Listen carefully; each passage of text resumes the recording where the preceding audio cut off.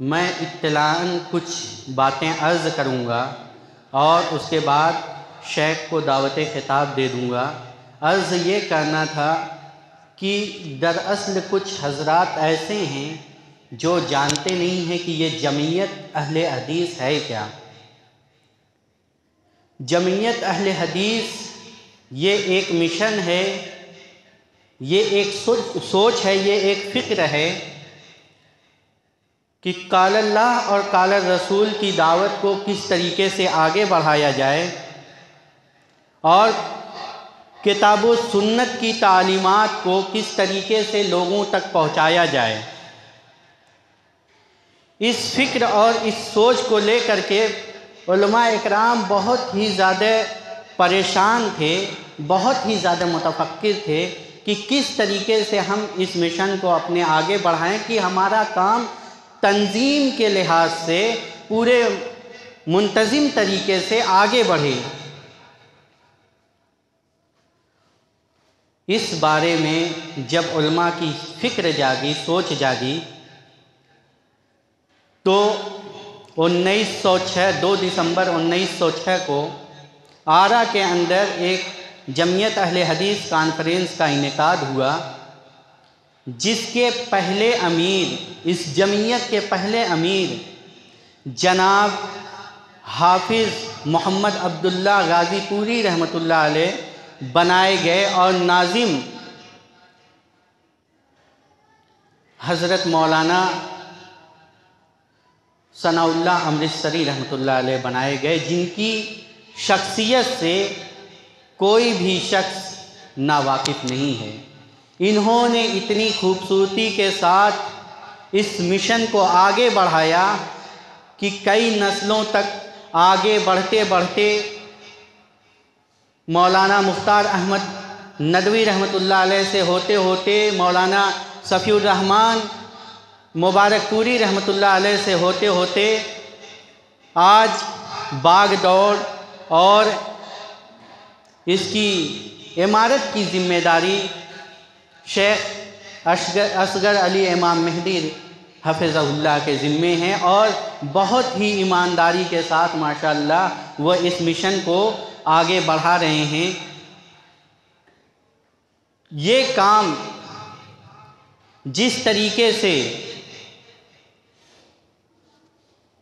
हिंदुस्तानी level पे हो रहा था, इसको आलमी पैमाने पर भी बढ़ाया गया और निचले दर्जे का भी लिहाज रखा गया कि इसको सूबाई ले सूबाई लेवल पे और उसके बाद ज़िलई लेवल पे और मका मकामी लेवल पे कस्बे के लेवल पे और मकामी लेवल पे इस मिशन को आगे बढ़ाया जा रहा है। आज तेईस से ज़्यादा अज़ला में ख़ुद हिंदु, हिंदुस्तान के अंदर ये जमीयत अपना काम कर रही है और बहुत खूबसूरती के साथ कर रही है।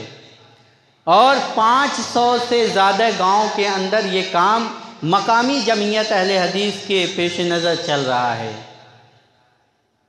खूने दिल दे के निखारेंगे, रुखे बरगे गुलाब, हमने गुलशन के तहफ़ की कसम खाई है। इन ये प्रोग्राम, ये मिशन आगे बढ़ता रहेगा और हम एक सोच के तहत, एक फ़िक्र के तहत और एक जज्बे के तहत इस काम को बढ़ाते रहेंगे। क्योंकि ये काम हमारे अकेले का नहीं है और ये काम नया नहीं है। हाँ फ़र्क इतना है कि हमने वक्त के बदलाव के साथ इसे एक नाम दे दिया गया है, लेकिन काम जो हमारा है, काम वही है जो नबियों का काम था।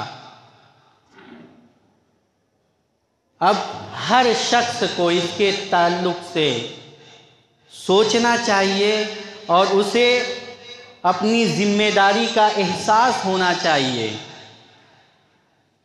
और साथ ही साथ अमल पैरा भी होना चाहिए।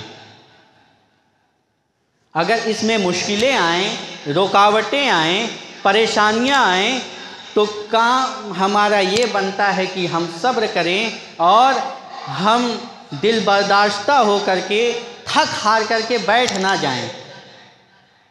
बल्कि हमारा मिशन और हमारी सोच और फ़िक्र यही होनी चाहिए कि हम इस मिशन को आगे बढ़ाते रहें जिस तरीके से हमारे असलाफ ने इसे आगे बढ़ाया है।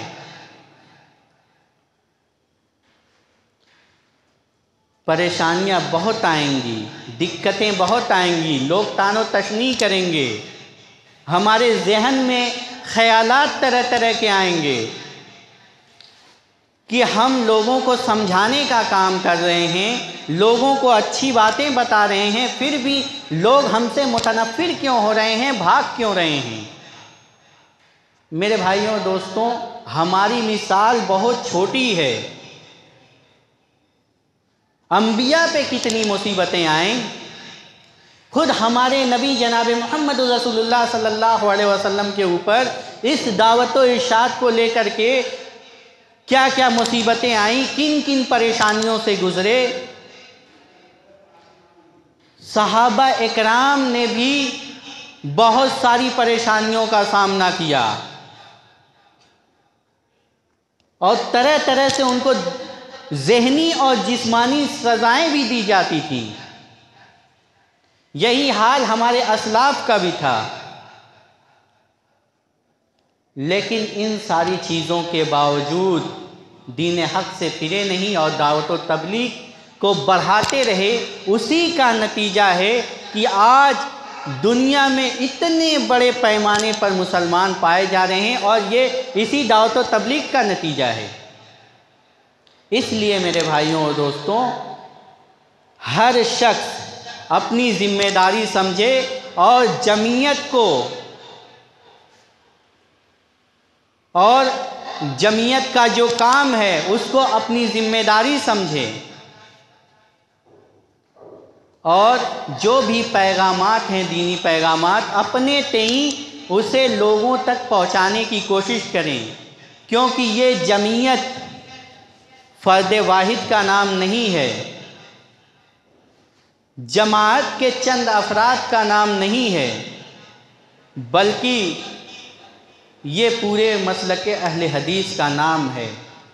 और इस मसलक के तहत जो सहाबा इकराम का तरीक़ा है, इसके तहत हर शख्स की ज़िम्मेदारी बनती है कि वो खुद भी अमल करे दीनी तालीमत पर और जो उसके अज़ो अकरबा हैं, जो उसके ताल्लुकाती हैं, जो उससे मुंसलिक हैं, उन्हें भी इस बात की तरगीब दे कि वो भी इस मिशन पर अमल पैरा हों।